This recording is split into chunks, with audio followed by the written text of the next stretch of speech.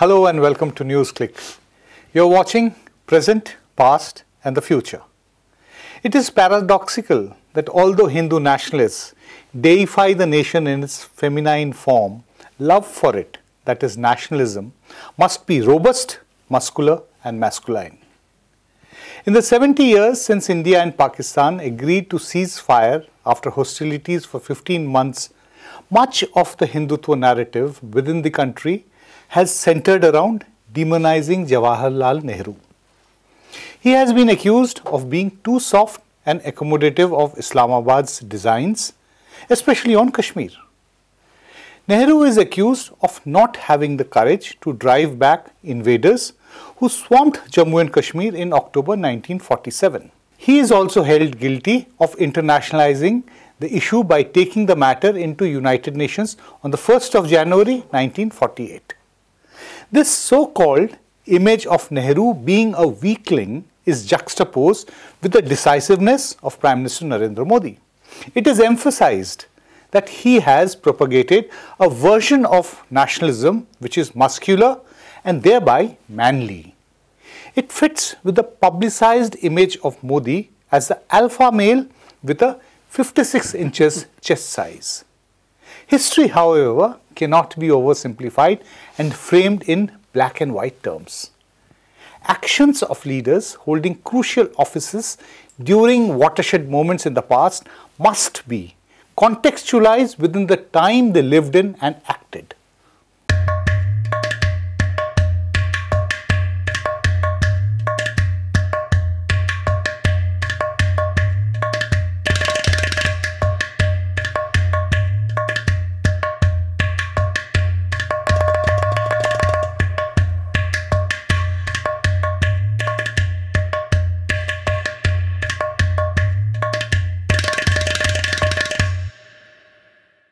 Is no point in theorizing how Modi would have acted if he had been the Prime Minister in 1949 or 48 for that matter.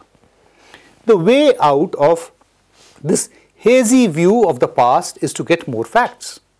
Information of what precisely happened, who said what and recommended what. Much of this information in most countries, including India, lie buried and locked in government vaults. Many of these documents and personal papers are time barred. But even if it is time to make public such documents, government and linked institutions often prevent truth from becoming public knowledge. The state has been known to use its discretionary powers to prevent release of information because it could damage their political interest. A recent such instance has come to light. A researcher wished to get into the heart of accusations against Nehru regarding Kashmir that he did not act firmly. It is not that he held a brief for India's first Prime Minister or any other party. His interest was in unearthing or finding out more information of what transpired in history in the public domain. I am joined by Venkatesh Nayak, who has consistently researched the turbulent history of Kashmir in the period following its accession to India. He works with the Commonwealth uh, Human Rights Initiative. Uh, welcome to the program, Thank Venkatesh. You. Thank you. Let me not say I decided not to tell the story of your right to inf uh, information application from my side. Okay. I wanted to hear it straight from the horse's mouth. In a nutshell, your RTI application, what you sought and what you were given and what you were denied. Okay. Uh, if you'll just permit me a little bit of a background as to sure. why I you know filed this RTI. Yes. Your viewers might be interested. Why is it that uh, this gentleman is looking for 70 or yeah, and, and the RTI activist that was somebody with obviously. a interested in Kashmir. Absolutely right. You see, I work for the promotion and use of the right to information in Kashmir ever since uh, I've been working there since 2004. Right. Um, we have trained citizens who are part of organizations in the civil society sector, journalists, students, and private citizens mm -hmm. in the use of right to information, and they've used it to fantastic, right. uh, you know, impact. Now, during one such interaction in Jammu and Kashmir, um, I was asked hmm. whether it would be possible to get a copy of the instrument of accession that Jammu and Kashmir the princely state at that point of time in 47 signed with the Dominion of India Hmm. because that document is a disputed document. Right. In fact, the very existence of the document has been Has called been into question. question by not only Indian scholars but also foreign, uh, you know, uh, academics. Right. Notably, uh, uh, people like uh, the late Professor Alastair Lamb. So I took that up as a challenge and filed an RTI with the National Archives, hoping that that is where. And then you finally managed to sorry, get no, it. no, no, no. Uh, I'm sorry. I must correct myself. I filed it with the Ministry of Home Affairs because the uh, Jammu and Kashmir uh, department is part of the Ministry of Home Affairs. And then eventually you got it in the Eventually, I got it from there, and then that sort of got me interested in the Further, dates on which further Yes. examining this Yes. particular Yes. part of the. Indian history. Because in addition to the existence of the document, there is also uh, doubt about the actual dates on which the accession instrument was signed and accepted. Right. Now that is also part of the research that is going on. As part of that research, I found out that the Teen Murti Library, you know, which is also known as the Nehru Memorial Museum and Library, based in Delhi, which Mm-hmm. of late is in the con- is in a big controversy in terms of the membership of the executive board of that. The character also exactly that is going to change uh, very soon, and people are going to be Has ejected out. already, in fact. Yes, it, people have been ejected out, unfortunately. Um, so that is where I found out that there are certain papers Mm-hmm. uh, which have been microfilmed from the collection of Lord Mountbatten, the last Viceroy and the first Governor General of independent India. And while going through that, I came across uh, references to a whole range of documents. One of them was uh, uh, an interview that was done with um, Sir Roy Bucher, who was the second commander in chief of the Indian Army after independence. This was just before, a, a year before um, uh, General. Uh, And this interview of. Roy Yes. Bucher was done by Now, B.R. this Nanda. was done by B.R. Nanda, the the, biographer, the- noted, the biographer. noted academic Yes, and biographer. Yes. yes. And um, When was this interview conducted? this was done sometime in the late 60s or early 70s. Okay. Uh, the document actually is a typed up transcript of the interview. There are about Right. uh, 25 to 30 pages of that. Unfortunately, And you managed to see only. uh, I saw the whole you saw the whole? But I could only get um, uh, you know about three pages out because there is a um, Now, uh, out of the, th- the three pages which you could get out, Yes. Uh, the most important point is that I think you have also written about it, Yes. is that Nehru actually wanted to take military action against uh, what Yes. we now call Yes. POK to try to get it back. Absolutely right. In fact, it's a it's a longish interview. It's, it's a sort of a freewheeling interview about uh, what uh, Sir Roy Bucher remembered about his time spent in India, and there are lots of interesting vignettes. Part of that is his uh, conscious recall of what happened during the 1947, 48 up to 49 period, and there there is there in a couple of places he refers to a file that he had handed over before he uh, or just around the time when he retired in January 1949 for uh, safekeeping at the Nehru Memorial Museum and Library. I'll tell you just something which I Okay. read from some other source Okay. regarding his retirement in January 1949. Yes. Yeah, but please Yes. continue. So uh, that uh, set of papers uh, were uh, also mentioned in the index Hmm. of uh, transcripts maintained by the Nehru Memorial Library, and next to that uh, entry in the catalog in Hmm. that index, it said closed. Now I was not too sure as to why archival papers should be closed for public scrutiny. Right. Now this is without uh, having applied under RTI. This is generally you, take a membership. When, when Yes. you applied, Yeah, you take a membership of Nehru Memorial Library, you ac- get access to the uh, books that are there in the library, and you also And get access to the holdings. Yes, the microfilms, the typed up answers, uh, sorry, transcripts of interviews, papers, Nehru's, uh, you know, copies of his correspondence. True. They're all lying there. So ordinarily, one should be able to access them with, of course, uh, completing necessary permissions. They have this curious you know, uh, procedure where you take the director's permission for papers prior to 1947, and you take the chairperson's uh, permission for accessing papers after 1947. This is Government of India papers. So this was part of that. So I went through that whole process, got access to the interview um, of Sir Roy Bucher, and there I found out that he had given a file. I looked up that file. It said it is closed. And then I made inquiries with the senior officers in the Nehru Memorial Library, and they said there are two grounds on which certain kinds of papers are closed. now these these are closed under the instructions of the Ministry of External Affairs. Yes, if so there are two, you know, understanding two reasons. correct. One is if a government agency says they must be closed, Hmm. or if the donor of the papers Right. say they must be closed. But here in this case, the government says so. Here we didn't know. Okay. The catalog merely said closed. Do you know now? Now we know. That's the reason why I filed RTI. Right. I said, A, tell me uh, which are all the papers that are available in your holdings that are closed from public scrutiny. Then I specifically asked, those given by the central government, those given Now, by the state with it- government. without getting caught in the technicalities, Huh. you know what your paper revealed, what you were able to see. yes. That says that includes uh, that a transcript of that interview with uh, B.R. Nanda. Yes. It also uh, Yes, does it also include some personal papers of uh, Bucher, or is this No, this no, it is just a purely typed out transcript of the interview. and this is Bucher's version of Bucher's the interview. version. Uh, no, no, this is Nanda's version of This the is. Nanda Nanda's, Nanda's version, version of, the interview, what he has typed out.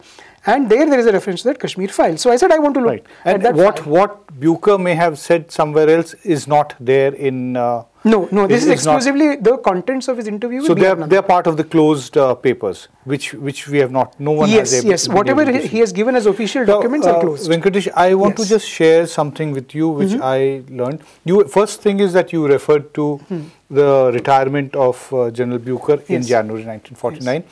Uh, very peculiarly, I while uh, dis- after deciding that I am going to be uh, talking to you on this very important matter of public interest, I was doing my own reading and I stumbled on a blog written by Mr. Lal Krishna Advani Mm-hmm. in 2013 where he also talks that he uh, he has also been pursuing uh, what General Bucher may have written at various places, and he says that he came across a website. There is no mention as to which particular website it is. That he came across a website where General Bucher's uh, statements and his views are uh, available on various matters related to the history of Kashmir at that point. Now, the first thing is that we do not know whether what Mr. Advani is writing is correct or not, but nonetheless, what he says is very significant because most of the observations which Mr. Uh, Advani presents as a correct observation requiring further study end up exonerating uh, Nehru from the charges that have been leveled against him by the same organization and the party which Mr. Advani has been part of right from the time when he was a youngster. Now, he says very interestingly is that uh, General Bucher advised Nehru that militarily it is not possible to establish control, and I'm quoting parts of it, entire Jammu and Kashmir because the British are supporting Pakistan. Bucher also says that Nehru wanted an Indian commander in chief, which was Bucher himself. In the middle of 1948, about six, seven, eight months before Bucher actually retired, and uh, General Cariappa became the first Indian uh, commander in chief. But Bucher said, told uh. Mr. Nehru that this is not possible. Let me just make a slight Okay. mention that this is also a time when peculiarly the Pakistani counterpart is also British. Yes. General Douglas uh. Gracey. Yes, So he is he is on the other Yes. side. One of the arguments which uh, General Bucher makes in his uh, you know conversations with uh, Jawaharlal Nehru, Nehru is that uh, it is going to be very problematic because uh, British uh, are there on both sides. Yes. So we can't up, can't end up fighting one another. You know, if here is the CNC here, and on the other side is also a, a British CNC. Then Bucher also told Nehru that the British did not want an Indo-Pak war, and that he says that we feared that there would be hostilities, that it would break out. Thereby, we issued secret orders to all British officers to stand down in the event of war. He is very emphatic in his assertion that British did not want India to get the whole of Jammu and Kashmir because then Pakistan would feel very threatened and would eventually get overrun, which the British did not want. Now, the widespread feeling in London, this is again a direct quote, was that if India was in control of areas contiguous to Pakistan, the latter would not survive. Top secret cables exchanged between British missions in India, Pakistan, and Whitehall tell the true story. He also says that the CNC was receiving instructions from the British High Commission in New Delhi. Now, tell me that if this be the case, where was Nehru at fault? And why this campaign against him? Well, um, I think again, like you quite rightly said in the beginning, I hold no brief for any individual, Yes. and that would apply to Mr. Advani as No. well. But at the same time, I have not seen the source of information that he's making a mention. Ideally, it would have been uh, uh, proper the moment we'll believe that. Mr. Advani has let, let, written let, that us leave it at, let us leave it at that because it's not it's pointless to comment on something that one hasn't read or seen. But the interview that Mr. Nanda had with Sir Roy Bucher Hmm. portrays um, a very resolute Nehru, but uh, in words that certainly do him a lot of uh, give him a lot of credit. Uh, first of all, in those extracts of the interview, which I have actually made public on our organization's website, Sir Roy Bucher is uh, uh, reported to have said that he was amazed at the fantastic grasp of military issues that Pandit Nehru had at that point of time, particularly in Kashmir. That's number one. And number two, the extract also mentions that he's got two letters from Pandit Nehru about the possibility of taking the battle to into Pakistan. Right. And he says, he, uh, Sir Roy Bucher says, he can't quite remember whether those letters are lying with him at home or they are in the file which he has Right. handed over to Nehru Memorial Library. But he said he will check up and if they are not there in the library, then he will give copies of those letters. And he says that it was indicated to him at that point of time that Nehru was contemplating that if the UN mission on Pakistan, on Jammu and Kashmir had failed or had not given any um, sensible solution for cessation of hostilities, then he said that the Indian army would have to be prepared to invade Pakistan, to enter into Pakistan, go into Pakistan. Those are the words that are used. So it is not as if Nehru was somebody who was completely foreclosed all, all options because of the Panchshila or the peace, peaceful coexistence uh, philosophy that he later on. Uh, uh, you know, Oh, pursued. Came several years later. Several years is- later. So are talking about this- 48, exactly, 49. Exactly. I mean, it's less than a decade. Panchshil is, in the middle of mid 1950s. 1950s, That is the time 1955, the. Bandung conference yeah, and all of takes that. place in 1955. Exactly. So, as a leader, as a statesman, and as somebody, not simply because of the fact that he hailed from Kashmir, but because of the strategic importance of that region to newly I think India. there's another thing which Yes. is very clear that you know what we read about Yeah. the papers which uh, Mr. Advani quoted. Yes. You know, it appears that he also quotes an interview, lengthy interview Mm-hmm. given by uh, uh, Gen- you know General Sam Manekshaw Hmm. Yes. to an Indian journalist, you know, a former editor of mine, Prem Shankar Jha. Yes. Where uh, from those accounts it's also clear that uh, as far as Kashmir is concerned, there really was not much of a difference of opinion between Nehru and Sardar Patel. Mm-hmm. Uh, one was a more mild-mannered person, Nehru. yes. Sardar Patel was much more emphatic about saying everything on which both of them may have had the same position. Yes. That's the only thing which comes across. Yes. There's also a very interesting point which comes across in what uh, Bucher is reported to have said from the website which uh, Mr. Advani quoted is that Nehru had decided to strike at the basis of the raiders in Pakistan, but Lord Mountbatten opposed this. So, which means that the entire story which has been created Yes. that it was Nehru, the weakling, and Yes. you know uh, who uh, just did not uh, do anything, and he allowed Pakistan to walk away with so many kilometers of our land, Yes. and then ended up internationalizing the issue and creating problems for India, which cannot be, which can only be solved by a very robust and a masculine prime minister, Yes. representing a Hindu nationalistic school of thought. In fact, this comes out in another part of the interview of Sir Roy Bucher with uh, B.R. Nanda, where he says that Nehru was extremely concerned by the fact that there was cross-border shelling happening in the Akhnur and nearby Right, sectors. right, and that exactly. shelling couldn't necessarily happen through invaders Right. who are simply armed with small arms. Right. It would have to come from those who are in charge invaders, of the artillery. tribal invaders would not be getting that kind of heavy uh, exactly. artillery manpower. So a response to that would necessarily have invo- uh, have involved the option of military action into Pakistan. Right. And of course, good sense prevailed. Uh, we may today uh, wonder whether it was good sense at all or not. I mean, there are different views on that. But the question is, um, Sir Roy Bucher says that he was not privy to how the decision-making process in the Indian cabinet happened so, so, at that so, point of time. So basically, as we get towards the you know concluding part of our discussion, yes. I think there is a very strong case that uh, not just your RTI application, but Yes. whatever material is there, especially on this very important chapter of Indian politics, Yes. should be made available so Absolutely. that everything is there in the public Absolutely. domain, and then we can know whose narrative is correct, Yes. whether the demonization of Nehru is correct or or it is not. Yes, in fact, that would again, it, it all that uh, is being mentioned is a set of papers that are part of one file. Now, I wouldn't really say that the entire mystery would be clarified by that, but the fact is, fact of the matter is this: Nehru Memorial Library is a public authority under the Right to Information Right. Act. It is sitting on a set of papers that have been closed And for which must be made public. for more than 70 years. Yes. It you see, the, the issue is this. The RTI Act says that in certain circumstances, information can be withheld from public disclosure, but Right. there must be a justification. There is no justification. that at the moment. justification must still be based on the RTI Act. So the only, nobody has tested justification, it. only justification at this stage is that Yes. if we do not release this Yes. paper, we can continue a false narrative on Nehru and help our uh, present political. Uh, quite possibly, know, quite possibly. And in fact, when the government has taken the steps to make a lot of information about Netaji Subhash Chandra Bose's disappearance public, there's Well, no there reason still- why. there's still some Yes, documents There's still some yet to be documents. Yes, the, the PMO is still sitting on a whole lot of documents. Uh, I think it's high time that the government actually reviewed not only the Kashmir papers but practically all the papers that are in the Nehru Memorial museums and libraries Not just anything- anything which is Look related to the national movement Absolutely, and anything that con- constitutes affairs of the government of India. Exactly. That must be in the public domain. I think that's well said. Thank you very much for coming and joining me on this discussion.